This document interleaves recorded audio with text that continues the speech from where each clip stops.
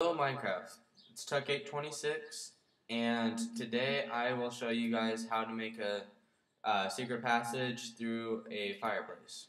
Alright, so here's the fireplace that you will be building today and all it takes is a click and then you're in the room, like a little secret room, you can make a room out of it and you can expand this however you want.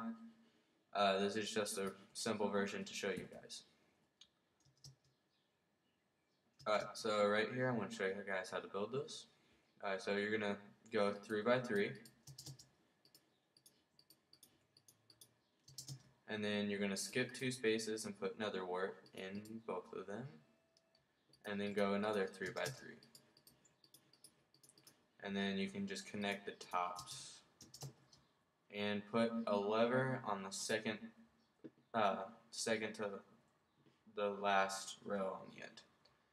And uh, sticky pistons go in the middle on both sides, followed by bricks in front of them.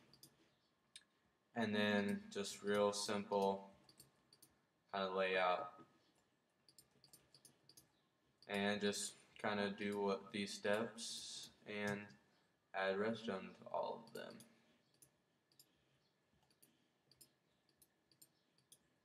Oops. And add a lever wherever you want in here. Oops, that's not a lever. There we go. And then last but not least, add the fire. There you go. And that's all I have to show for you today, Minecraft. But one last look of the redstone and everything. Alright, thanks for watching.